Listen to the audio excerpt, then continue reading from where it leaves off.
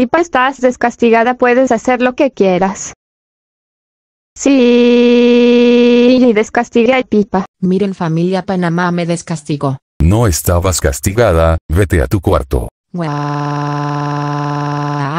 Y tú también Panamá vete a la casa.